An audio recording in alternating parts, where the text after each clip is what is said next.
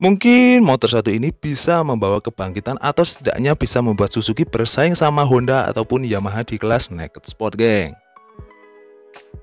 Ciao, bentornato nel canale Automotive Genderis Hello geng, gimana nih kabar kalian semua? Semoga kalian selalu dalam keadaan sehat walafiat ya Tanpa halangan dan kekurangan satu apa pun Dan semoga kalian selalu dalam lindungan Tuhan Yang Maha Esa Allah Subhanahu Wa Taala. Amin amin ya robbal alamin ya geng dan kemarin-kemarin itu kita udah sering banget ya guys ya ngebahas ya metik-metik bongsor, motor listrik ataupun rumor-rumor yang akan terjadi dan ataupun motor yang baru di launching. Dan sekarang kita mau ngomongin tentang Suzuki nih yang sebenarnya punya potensi besar banget buat kembali bersaing bersama dengan Honda ataupun Yamaha, Kawasaki dan yang lainnya ya geng terutama di kelas naked sport ya guys ya motor-motor yang telanjang gitu geng dan ini ada produk dari sebenarnya sih uh, partner dari Suzuki ya gengs ya yaitu Hoju DR160 dan untuk produk dari Hoju sendiri itu bisa dikatakan desainnya itu cakep-cakep banget ya gengs ya.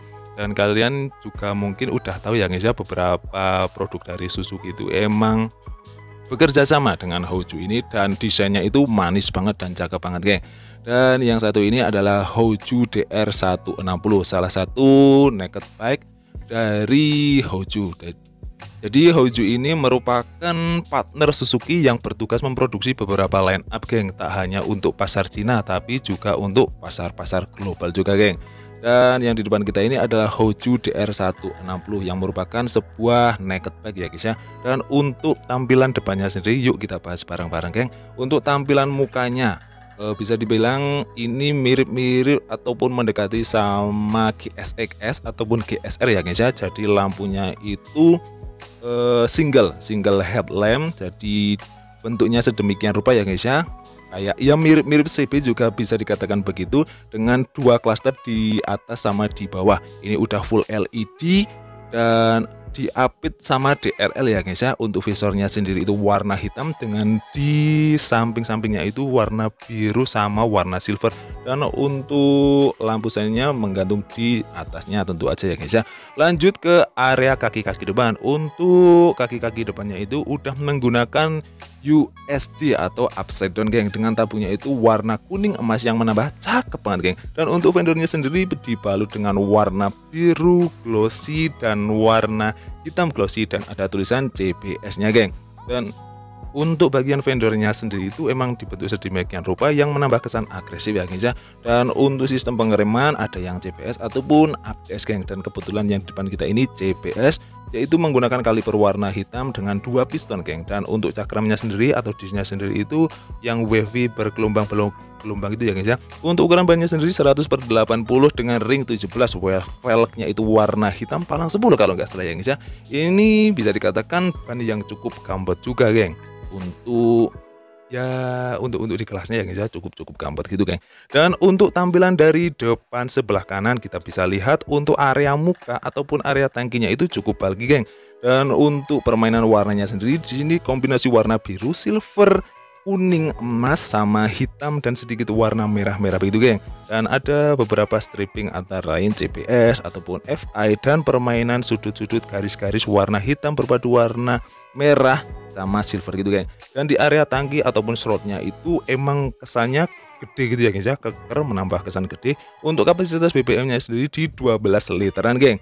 Dan ada emblem dari Hoju berbentuk bundar dengan emblem krom-krom gitu ya guys ya. Dan untuk tampilan bodinya sendiri di sebelah kanan ya geng. Di area depan kita bisa lihat dan membuktikan kalau motor ini emang bulky slotnya itu ngembang begitu. Dan di area bawah di area mesin mesinnya itu emang nggak terlalu besar tapi dengan aksesoris-aksesoris yang menempel jadi terlihat padat dan keker begitu ya guys ya. Ada pula pelindung mesin di area bawah. Untuk joknya sendiri split seat antara uh, boncenger sama ridernya itu terpisah ya guys ya. Dan area buritan ataupun sampai stop lampnya itu meruncing begitu geng. Area knalpotnya itu juga dibuat sedemikian rupa cukup gede knalpotnya dan dipadu dengan cover silver dan line cap mufflernya itu juga silver silver begitu ya guys ya. Dan di sebelah kiri kita akan menemukan bentuk yang enggak terlalu jauh beda. Untuk di area gigi perpindahannya itu Oh iya motor ini menggunakan 5 kecepatan giginya itu gigi congkel kalau nggak salah ya guys ya. Dan untuk kaki-kaki belakang menggunakan monoshock untuk ukuran bannya sendiri 130 per 70 dengan ring 17 uh, velgnya itu warna hitam sama ya guys ya. Palang 10 dan juga untuk pengereman udah cakram depan dan belakangnya geng. Dan untuk itu handlebarnya sendiri dipadukan dengan warna silver begitu ya guys ya. Dan berbentuk tanduk sehingga menambah kesan garang gak sih geng kalau begini geng? Dan untuk area vendornya kalian bisa lihat ini menggunakan tipe uh, spakbor ataupun vendor yang terpisah dan menggantung begitu ya guys ya.